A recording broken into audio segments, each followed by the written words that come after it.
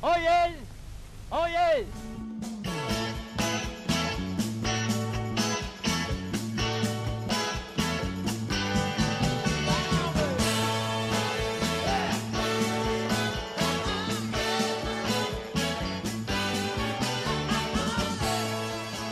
Welcome to an emergency podcast of Conduct Detrimental. Uh, joining me this morning uh, is sports law attorney Daniel Lust, known as Sports Law Lust on Twitter. He's an associate, he's a litigation attorney with um, Goldberg Segalla in New York.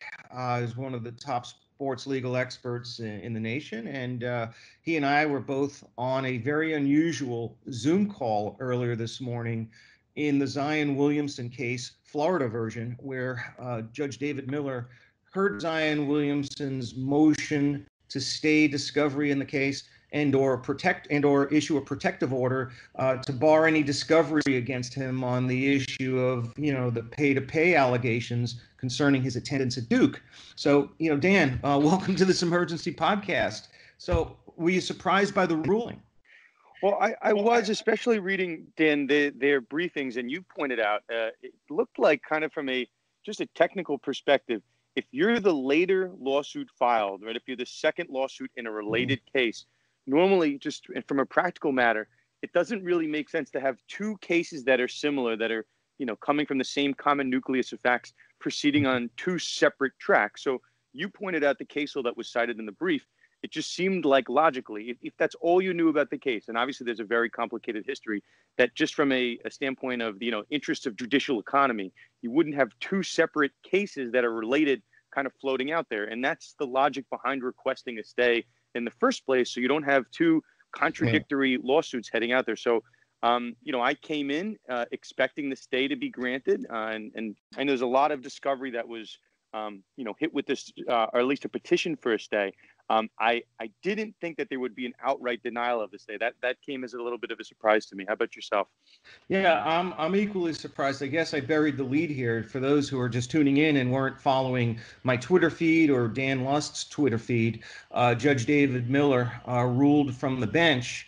Uh, I mean, there'll be a written decision forthcoming, but he denied Zion Williamson's motion to stay discovery against him uh, while his appeal challenging the personal jurisdiction of that court is pending before the third district court of appeal in florida. It came as a real surprise to me because uh, as you alluded to you know earlier in this conversation there is a long standing precedent under florida law that a later filed state court case must defer to an earlier filed case involving the same or similar parties and claims arising out of the same subject matter, where resolution of the first case could narrow the scope of the issues in the second case. In fact, that that line of authority, which is highlighted uh, by a decision involving former Detroit Red Wing Sergei Fedorov, I mean, you know, talk about sports law, you know, six degrees of separation. We have Sergei Fedorov, one of the great playmakers in NHL history,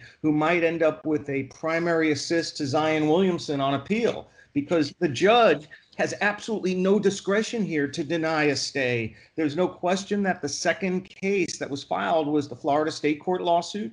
The North Carolina federal action came first, and while it, it originally was a very narrow case uh, seeking a, de- a, declaratory judgment that the contract with Gina Ford was invalid under the Uniform Athlete Agents Act, it eventually uh, became the mirror image of the Florida lawsuit once Gina filed counterclaims in the federal court action. So the, the North Carolina case now has all of the same parties that are pending in Florida and all of the same claims. It's a virtual mirror image of the Florida lawsuit. In fact, if you compare the language of her Florida complaint with her federal court, you know, counterclaims, it's almost word for word verbatim. And under those circumstances, according to third DCA precedent, uh, Sergei Fedorov is one one of the decisions. The court has no discretion here to deny a stay and and I always felt it was uh, not the not the best argument to to make to to to avoid this issue. I think what what, what Williamson's attorneys were going for here was a a much narrower argument, but one which didn't focus on this broader issue, which I think would have better tied the judge's hands and left him with no discretion to deny it. So I think where we're ultimately heading here is another appeal, which would be the one, two, three, fourth lawsuit filed in the case. and while denials of stays are not ordinarily appealable as of right anywhere or, or especially in Florida, we have a device that might also, you know, be, be available in New York, uh, known as extraordinary writs. Motion, you know, petitions for writs of certiorari, writs of prohibition. Those are ways in which the court's orders, interlocutory orders, may be challenged uh, before there's a final ruling in the case. And, uh, you know, the, the denial of a stay uh, where there's an earlier filed action presents the kind of irreparable harm uh, to the litigant that I think would justify a, uh, uh, an immediate petition for writ of certiorari. And, he, and Williamson's attorneys have to file it within the next 30 days. And I would expect to see them file it next week in order to stop the clock running on discovery. So, you know, you know what's interesting, Dan? You bring up a good point. It just says normal, you know, attorneys, when we file summary judgment motions or anything like that, we're always told and we're always taught you know you really want to limit the issues in your summary judgment motion so that the judge really pays attention to your strongest arguments maybe you throw the other ones in at the back um, you know dan and you would know this better than most the thing that caught the most attention and picked up the most twitter storm was the, the tri- attempted blocking of these requests for admission that was thrown into this petition to stay um, at the end of the day right the, the cleanest issue the one that picks up no traction it's not really that controversial is the, the portion of the stay that requested it to be stayed because it was the later filed action. That part's not really that controversial. It's pretty clean cut no, to the, it, to the extent that right. I'm sorry, Dan, but but Zion's attorneys didn't focus on that issue. They didn't cite any of that case law. They didn't make that a ground of the motion. Uh, they their stay request was tied to the fact that there's an appeal pending and that it would cause irreparable harm to force Zion to answer discovery requests while it's challenging the jurisdiction of that court. And that's precisely why you can appeal uh, adverse personal jurisdiction rulings early on. He didn't raise the uh, the more guaranteed issue, or right. I guess the the percent lock issue of just staying the whole case entirely because it involves the same you know claims and parties and it came second and luckily luckily for williamson he his attorneys brought that up sort of like an ore tenus motion during the oral argument so i think they preserved the issue for appeal Right, and and that's that's the funny part. I mean, that's I mean, we you know, Dan, you and I were both on the Zoom, uh, just kind of watching this, uh, and I think for those that weren't watching, this is by no means normal to have a, a Zoom oral argument with you know 20 different faces kind of hang, looming in the background. So maybe that's that's part of it. But at the end of the day, I mean, there were there was normal written briefs here, so it's no one can really claim that they were kind of caught off guard. That's the clean issue. And I think, Dan, you know, it's important just just to give some color to these this oral argument. We heard from a number of different attorneys, and you know, the you know Judge Miller here did his best to try to weed weed out through the issues and try to figure out who was who. But when you have so many different faces uh, kind of speaking all at once, it's not like you're in a court, right, where you have the plaintiffs on one side and the defendants on the other side. And it's very clear who's talking first. Um, you just had kind of a, uh, we'll say, a cosmopolitan of voices all speaking at once. So you know, sometimes, and Dan, you you you made me think of this. You know, sometimes the best defense uh, to a, a clean cut issue is just to muddy the waters, so to speak. So once you're getting into anything that's not a clean issue, right? The the with respect to the notices, uh, you know, requests for admissions, or even Dan, we you know we you and I spoke about it offline. The issue of depositions, you know, that was talked about a lot uh, on this Zoom oral argument. Um, again, that really has nothing to do with this clean cut issue of a stay being the later filed action. Uh, and credit to you know um, prime marketing and whether they did it intentionally or not. The fact that depositions were such a heavy basis of this conversation, you kind of had the feeling the judge was leaning towards kind of letting discovery happen. The fact that he was allowing this conversation of depositions to occur. Yeah, I mean, I, I agree with you. I, believe that, um, the, the, the, it may have not been the most optimal strategy uh, for Williamson's attorney, Jeffrey Klein, who otherwise did a fantastic job. But I think it may not have been the, the most efficient and optimal strategy to basically argue the merits of his appeal on the denial of personal jurisdiction because he's he's he's making that argument to the judge who didn't buy that argument the first time around and and denied his motion to dismiss on lack of personal jurisdiction. So he's basically folding in or re-arguing uh, the same substance of the personal jurisdiction challenge to suggest to the judge that uh, it's a colorable argument, and for that reason alone, he should stay the case to allow the third district court of appeal to decide it but he didn't find the most receptive audience because he's he's pitching that story or pitching that theory to the judge who wasn't buying it the first time around. So uh, my, my my my belief on on like litigation and, and briefing and, and how you front load issues you always always lead with your best shot and your strongest argument. And his strongest argument here was the one that left the judge with absolutely no discretion or any wiggle room. Uh, you know, the, the courts, the third DCA, which oversees this Miami court, has said in numerous occasions it would be an abuse of discretion for a state court judge to deny a stay where there's an earlier filed lawsuit involving the same claims and parties or similar claims and parties. Slam just, dunk just to jump in, Judge, Judge Miller pointed out during oral argument, he goes, he, he kind of signaled to that to the extent that there's a federal judge or federal authority that comes in and displaces me. He goes, I'll, I'll obviously give great weight to that. So, you know, in hindsight, hindsight being 2020, if you just put your, you know, slam the table and you just kept hitting federal court law, right? The, the federal law, the DCA, the mm-hmm. Sergei, Sergei Fedorov opinion, maybe that's a better route here um, because the judge is signaling, obviously he's required to federal court being, uh, you know, uh, controlling uh, to, mm-hmm. to, some extent. Obviously, it's it's not binding, but a federal judge or a federal opinion uh, has a lot of weight uh, in the Florida State Court. So um, I, I, think you're well, right. I think hitting, well, Dan, hitting that issue would work. Dan, this is better than a federal opinion. Uh, this case law is from the Third District Court of Appeal, which means that it's binding on Judge Miller, and he's obligated to follow the Fedorov decision. And the fact that he didn't uh, leaves Judge Miller's decision, which hasn't been reduced to writing yet, but it leaves it vulnerable to being overturned on a uh, issuance of a writ of certiorari, which could be teed up uh, by Williamson's attorneys as soon as next week. Uh, what did you think of the attorneys' arguments and the different styles of how they approached it? Because it really was a contrast in styles between Williamson's team and, and Ford's team. And any any thoughts on how yeah. they handled argument. So, Dan, have you seen the movie Dodgeball? Yes, yes. E- ESPN Ocho?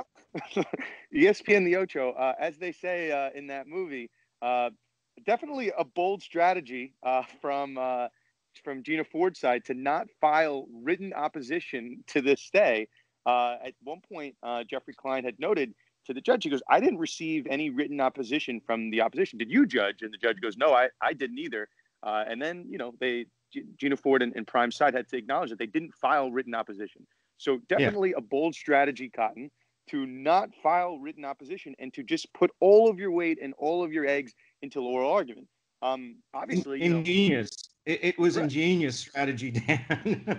and, and, well, they, and they, right, and they and the funny part is they asked if that was intentional, uh, and you know, there's no real answer to that if you don't file opposition. I mean, it's almost unheard of, but guess what, Dan? You know, it, it paid off. So let's say ingenious. Let's say it was a bold strategy.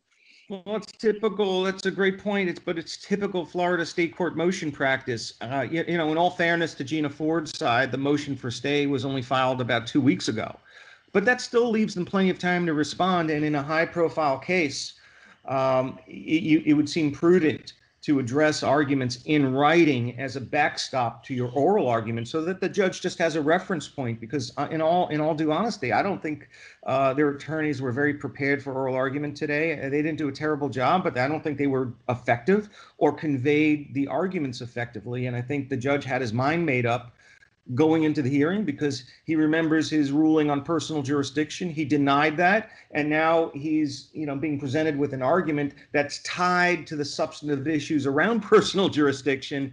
And it didn't surprise me that he saw the case through that prism and ruled accordingly when there was a clearer path to entry, at least for Williamson's side, to get a slam dunk victory, which I think is still going to be forthcoming uh, in, in a new court filing before the third DCA within a matter of days or perhaps by the end of next week. But man, they weren't that prepared at all.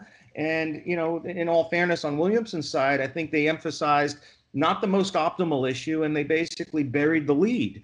Uh, so, you know, it, it is what it is. The judge had his mind made up going in, and I don't think anything he heard today, uh, you know, changed it. But luckily, luckily for Williamson's attorneys and for Duke and Coach K, uh, he's got a couple of other, you know, you know, you know, bullets to fire here, which is one the the appellate remedy, and I would I would be shocked if Williamson's legal team doesn't avail themselves of that immediate path to entry because if they don't appeal, then they face the prospect of Zion Williamson going under oath very soon uh, although there's been no written order. So the timing of when this discovery would have to take place is an unknown at this point, but at least the clock is ticking on the response deadline for these discovery requests. These requests for admission and interrogatories are going to be due, you know, in, in about another week. So they're going to have to do something immediately to stop the clock on that. So again, just kind of to bring it up too, it's it's an interesting scenario that we're watching the Zoom. I mean, they say two heads are better than one uh, three heads are probably better than one, especially when they're all kind of bringing up different points. Um, I I know, and Dan, you and I again spoke about this on, on the last pod. Um, it, it, doesn't really mean anything that Zion doesn't want to take a deposition that he's filing this protective order. Um, it doesn't really mean anything substantively, but you nevertheless you heard the argument from Prime side uh, arguing, you know, if I, I, heard it, you know, I know you were listening too. You know, if Zion doesn't have anything to hide, he should be sitting down for deposition. Uh, and you know, we've worked around his schedule. We've worked around his NBA schedule. He can't avoid it. He's going to have to sit for a deposition. I mean, those are just factual arguments. It's not a legal argument. Um, but again, maybe just uh, we'll say if it was strategy, but a, a cacophony of noise from you know all, all, all the different attorneys defending you know Gina Ford's side, or, or the plaintiffs in this version, but um, that might have again muddied the waters here, sufficient to deny the stay. And again, remains to be seen if it will, uh, you know, stand up on appeal or even if an appeal will be filed. But I think unintentionally, the amount of voices heard on the other side uh, might have actually been an effective strategy, albeit maybe unintentional. Yeah, I mean, in, in, in normal motion practice, or even in a, in a trial, one you know one one lawyer from one side makes the argument, and here, uh, Judge Miller allowed both Larry Strauss to make the initial ar- argument for uh, Gina Ford, and then allowed Willie Gary to weigh in who also represents Gina Ford. He's actually the lead counsel. Larry Strauss works for him. Um, that's very atypical. You, you don't allow, uh, you know, sort of two lawyers from one side to argue and only one lawyer from the other side. And all that Will, Willie Gary brought to the table was, I don't know, I think this red herring argument that, you know, they've been dodging and ducking and diving to, you know, sort of use, uh, you know, um, dodgeball parlance. But the fact of the matter is, they have never served a deposition notice in this case.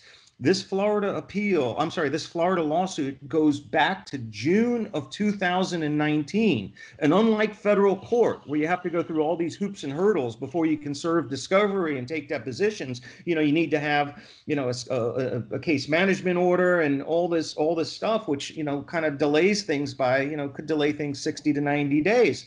But in state court, you can just come right out of the right out of the chute running and and start serving discovery requests. And they did nothing. They basically bought an index number and sat on it for one year. And to this day no discover i'm sorry no deposition notices have been served in the case. And i'm sorry i just i'm really surprised that the judge gave credence to the notion that maybe williamson should be deposed right now uh, instead of uh, you know sitting for instead of responding to these written discovery requests. I'm just absolutely floored by how the concept of, or how the issue of the depositions got floated out there when there's nothing that's been served, nothing pending, nothing that's even been noticed on that front. So I'll, I'll bring up one interesting point, Dan, and you can tell me because again, and if anyone, for everyone's listening, obviously Dan is kind of you know the foremost expert with respect to this case. Um, you know, one issue that comes up that it's true though. I mean, I don't I don't think I'm saying anything controversial, um, especially because we're on home home territory, so no one's going to disagree with me here. Um, you know, Dan, in, in law school, you know, we we hear a lot about res judicata or collateral estoppel, which are uh, you know, this argument that if you make an issue, you make an argument in one court, if a judge decides that issue in one court, to the extent uh, you know that same exact issue or argument is brought up in a separate court, the first decision will be binding, um, or you know persuasive to some extent if it's not uh, fully identical issues and identical parties. Um, now, Dan, as, as you've mentioned, and as is clear, these two actions between North Carolina and Florida, they have the same parties, they have a lot of the same issues, almost identical briefings. Um, my my concern, and you could probably speak to this this better than I, but do you think there's any issue now with uh, collateral estoppel or res judicata if Zion tries to block these same discovery questions in the North Carolina action because it was not granted here? Maybe you run into that in North Carolina. No, not at all. I don't think there's any um, uh, res judicata or collateral estoppel, estoppel bar. The truth of the matter is, uh, in state court uh, cases in Florida, you see judges, uh, successor judges, who you know may, maybe the first judge terms out and, and he's replaced by a new judge, and the new judge could issue a, a completely opposite ruling on the same issue and unwind earlier rulings. So the federal court does not have to give any deference. This isn't, uh, you know, a, I think res judicata collateral estoppel will go more to the merits of the case rather than to pretrial discovery issues. And the bars and, and the procedural uh, law that's in effect in Florida state court is slightly different than uh, federal law. The standard of discovery is slightly different. Uh, and, and, just the guidelines for conducting discovery and depositions generally. So, uh, Judge Biggs in North Carolina, who's the federal judge overseeing that lawsuit, doesn't have to pay any deference or accord any weight to Judge Miller's decision. So I don't think it has any effect. And ultimately, I think the court that's going to be the most relevant, at least in the foreseeable future, is Florida's Third District Court of Appeal, because I just don't see any way how, how Williamson's legal team will allow discovery to, to move forward which is due within the next six to you know 10 days and to put them under oath on these pay to play allegations when there is a, a, a point of entry in the Florida appellate court system to put a complete stop to this right away. They don't have to wait for for for a, a, ruling on the merits from Florida's Third District Court of Appeal. Once they file their petition for writ of certiorari, which is like a, an appellate brief, they're on the clock for filing it within the next 30 days. You know, appeals, you just have to file the notice of appeal within 30 days. But in extraordinary writ practice, like petitions for writ of certiorari, you gotta you gotta come with all your arguments in a, in a, in a fully briefed motion or petition within 30 days. And once that's filed, usually what happens automatically is the court will issue an order to show cause uh, requiring the other side to file a response uh, to the petition for writ of certiorari. So once that show cause order hits, uh, the, the lower court case comes to a complete standstill. It stayed, or at least the aspects of the case directed to Zion Williamson get stayed the moment an order to show causes issue, is issued, which is which is relatively automatic in extraordinary writ practice in Florida state courts. So I, th- I think time is not an ally of Williamson. They've got 30 days to file their petition, but with the discovery answers due, I think within the next 10 days, I would expect to see a petition for writ of certiorari filed no later than the middle of next week. And and I think Dan, you know, just just important to point out. Oh, hold, hold on, hold on. I'm wrong. I'm wrong. Hold on. I got to correct myself. We don't have a written decision yet. So, in the absence of a written decision, nothing is going to happen. So, what will likely happen as far as next steps is, uh, I think the parties will agree on a, you know, sort of an agreed order and present it to the judge for signature. And once that happens, then a petition can be filed. Sorry, Dan. That's what, no, that's that's uh, my understanding as well because the parties, as they were signing off the Zoom call, said they were going to work on a proposed order. Um, I just kind of want to point out again so that we don't bury the lead. Again, the, the issue that I think Twitter is most concerned with is whether you know Zion accepted any type of improper benefits to attend Duke. Those are the actual discovery demands that were served on him that were the source of this protective order, as a, as a number of the different issues were for the stay. Um, now, absent what you know, how how you're laying out, Dan, an order to show cause or you know another appeal to a higher court, those questions have to be answered, right? The judge didn't allow a stay or, or a protective order with respect to those particular questions. So Zion's going to have to, with respect to their his time constraints, either answer those questions or file that appeal ahead of time. And just us reading into this case, what's happened so far, I'd imagine he'd seek to again challenge those questions, be, be either appeal or an order to show cause. Um, instead of answering those. So I don't know if we'll get an answer to those right away, but just know that those, you know, it, it's a possible strategy to just answer those questions and move on. I just don't see it happening. Oh no, answering those questions would put Williamson under penalty of perjury if he's if he answers no to the uh, questions directed to whether he or any members of, of his family received improper econ- economic benefits to attend Duke or to wear Nike or Adidas footwear. So I think uh, uh, avoidance of answering under oath is a primary, you know, objective at this point. Right. And if I if I were if I were Williamson's attorney, I put myself in the shoes of Jeffrey Klein. What would my next step be? Well, he didn't brief the issue that I think was the most important issue, which is the mandatory nature of a stay when an earlier filed lawsuit has the same claims and the same parties and the same subject matter. He didn't brief that issue. He orally brought it up during the context of the motion, uh, context of the oral argument, but the judge didn't have the benefit of seeing the written argument. So, what I would expect or what I would hope that Jeffrey Klein does, what I would do as a practicing lawyer, is to file supplemental authority with the court before uh, a, an order, a written order is issued, just to highlight the mandatory nature of the stay remedy here so that the judge will understand uh, that if he rules against Williamson in the face of this mandatory stay authority, that he's looking he's he's looking at a high likelihood of being reversed by the third district court of appeal and judges don't like getting reversed yeah, uh, I, I could see it happening. It makes sense. I mean, uh, you know, Dan, obviously I practice in New York. It's possible that, uh, you know, Mr. Klein was waiting for opposition to file a reply and maybe insert it in there, but the opposition, written opposition never came. So he never gave himself a, another shot to throw that in. Um, I don't, I don't believe that's actually what happened here, but you could imagine that maybe the written opposition would have keyed up this particular issue and given him, you know, the concept to hit harder on that and include that authority. But that's not what we heard, and that's not what we heard. Uh, you know, it's not what we read, and not what we saw uh, in terms of the oral argument today. All right. Well, let's let's go to the predictions uh, because I think we're coming up, uh, you know, towards the you know end of the episode. Uh, predictions on you could predict anything basically any uh, any um, you know result in the case it doesn't have to be motion you know appeal wins appeal loses but but bottom line do you see any scenario in which zion williamson has his deposition taken before the end of the summer? So before the end of the summer, probably not. Uh, and and again, just part of the the Zoom argument that we didn't uh, talk about on on our podcast, but. Uh, you know, the judge was mentioning, he goes, he, he said he's an old school guy. He likes depositions being done in person. Um, I know there was some, uh, you know, some mention of a virtual deposition, but with a high profile case like this, you normally get one shot at a deposition. Maybe you have a continuation over a couple days. But maybe from Prime Sports side, they're going to want to see Zion in person, right? There's no necessarily a rush to get this done in the next 30 days. So I don't see a scenario uh, where uh, by July these depositions are done. Also, mind you, Dan, for a deposition to be done, you'd like some discovery to be conducted ahead of time, paper discovery, so you're not kind of walking in blind.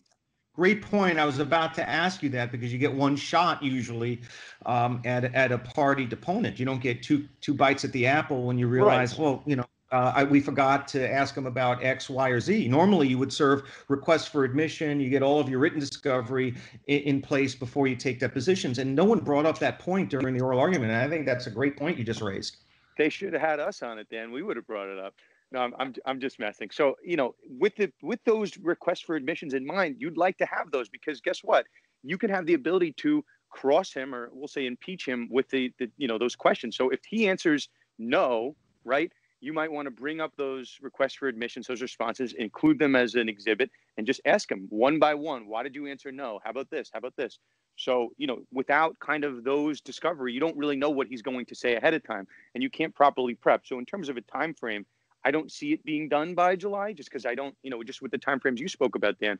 I, you know, it's going to take much. It's going to take a while to actually get the discovery responses in, even absent an appeal. So I don't think July is realistic. Uh, and again, mm-hmm. you know, you have the possibility of waiting until you can do this in person, which uh, probably isn't going to be until July either. Yeah, I, I think a real risk here is we're focusing on Zion Williamson, but CAA stands out there pretty much naked in the Florida court action. I think they're also represented by the same firm that represents uh, Williamson. There's no, not only is there no stay in place against Williamson, but there's certainly no impediment to taking immediate discovery of of CAA's uh, you know agents who you know were involved in the recruitment of Williamson. I think it would be in Williamson's best interest uh, to take advantage of the appellate remedy and file a petition for writ of certiorari before the end of next week.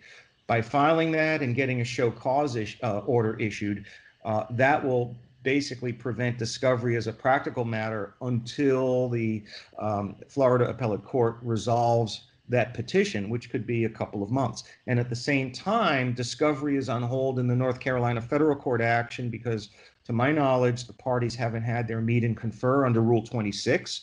Uh, they haven't submitted a proposed agreed schedule to the federal court judge because we would have seen it on the docket and it hasn't shown up on the docket yet. And then the court has to uh, issue a sort of a case management order setting forth all the key deadlines. So on the federal side, uh, it doesn't seem like there's any chance of real discovery taking place for at least another 30 to 45 days.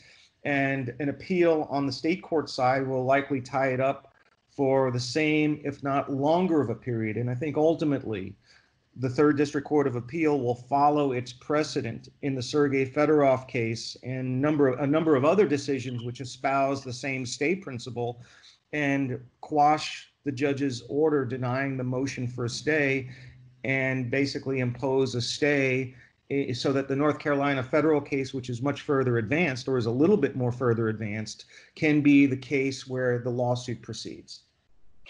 Uh, I think that sounds right. So, so Dan, uh, let me let me tee it to you. What do you think is the overall outcome of this Florida action, independent of what happens with North Carolina? Uh, do you think we see somehow a decision on the on the merits of this case? No, uh, in our lifetime, I don't think we'll let, we'll see a decision on the merits in this case uh, because there's little chance that um, a Florida court could have you know discovery, motion practice, and a trial before the North Carolina case reaches those same benchmarks.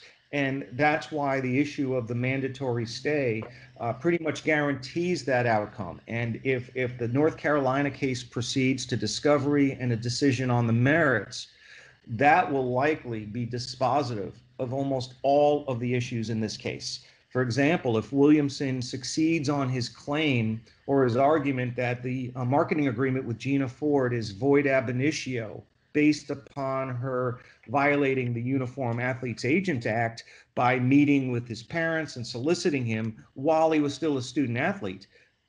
A decision like that, that voids the contract, would have a, a sort of a spillover effect as to all of her other claims, which are centered on the breach of that contract and the tortious interference with that contract, basically leaving her with nothing other than the skeleton of a misappropriation of trade secrets claim based on her contention that he stole the marketing plan and is exploiting it. But that is a very narrow sliver of the case.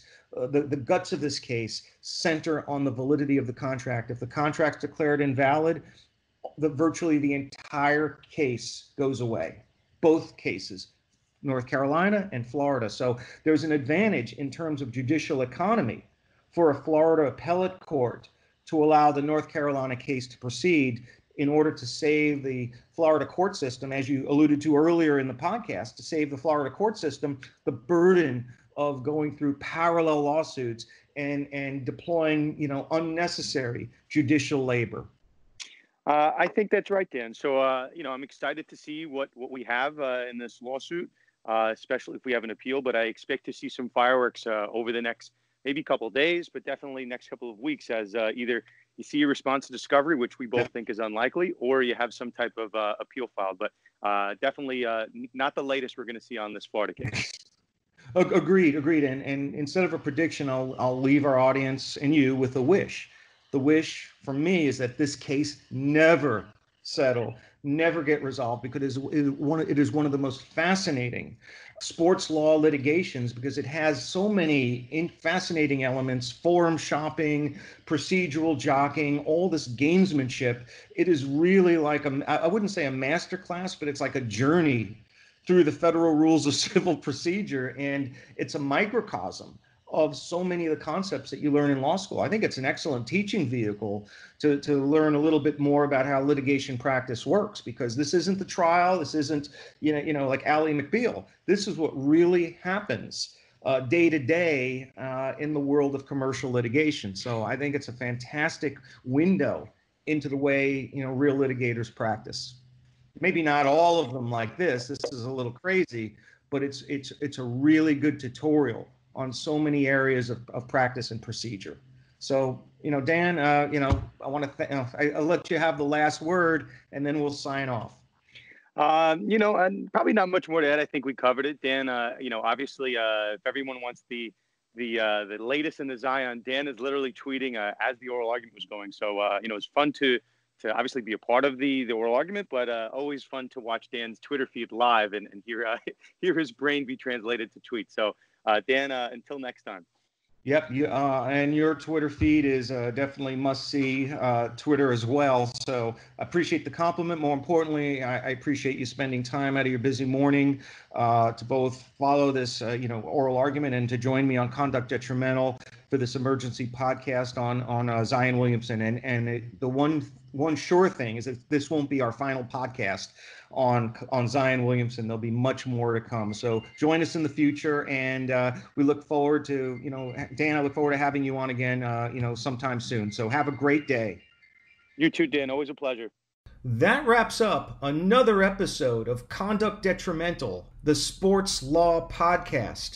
If you enjoyed this episode and like the content that we're providing, please, if you don't mind, give us a, a, good review on iTunes, Stitcher, Spotify, Facebook, Twitter, Google Play, SoundCloud, or any of the other platforms in which you receive the best in class podcasting content. Uh, I would personally appreciate it. It helps us build the audience, and we will be back soon with another episode of Conduct Detrimental. Until next time, case dismissed and the jury is excused. Uh, have a great day, everybody. Bye bye. This podcast is sponsored by Wallach Legal, LLC, the country's first sports betting focused law firm, representing clients all across this great land in matters relating to gaming law, sports wagering law, sports law, and yes, even litigation, uh, including appellate litigation. If you have any questions about the show or suggestions for future topics or guests, or if you just want to be a guest yourself, or you're looking to hire a lawyer, you can reach me in either of two ways. First, follow me on Twitter. My Twitter handle is at Wallach Legal. That's at W A L L A C H L E G A L. That's all uppercase, although I don't think it makes a difference. Or you can send me an email at the following email address wallachlegal at gmail.com. That's W A L L A C H L E G A L at gmail.com. Thank you.